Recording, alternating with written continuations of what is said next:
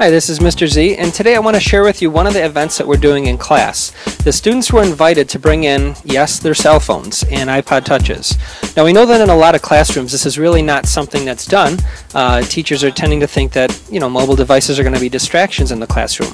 However, if you have the right tone and the right idea behind how these technology tools can work, you can actually use them as research tools, and that's what today's activities were all about.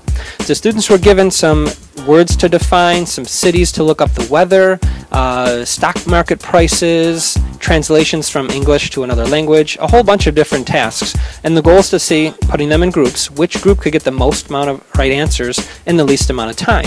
Now, I started out by showing them a traditional dictionary and talking about how it's not practical to walk around with that, but they carry the power of Google in their pocket. And if they know how to use that tool appropriately and wisely, they can obtain information by just using simple text messaging.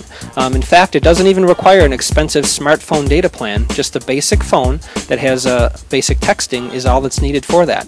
So we did some activities in class. The kids really enjoyed seeing how it could be used to find information, and it was a great activity that had everyone engaged and enthusiastic about technology tools. So I'll be blogging more about this as we do different experiments with mobile learning devices in the classroom. So feel free to follow along at my blog, and you can subscribe at robztraining.com. Thanks for watching.